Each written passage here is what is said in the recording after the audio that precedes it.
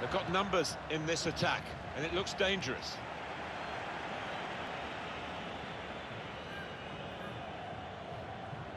Stopped emphatically and just as well. The approach play looked very encouraging. Mertens the target. Good defensive clearance there. What a brilliant goal. Hearty mouth there, he might have thought that was going to hit the bar, but no, he's just crept under. Unstoppable. They've increased their lead here, and that could just wrap up the match. Yeah, they're the much better team out here today, and that scoreline reflects that. Different angle on it here.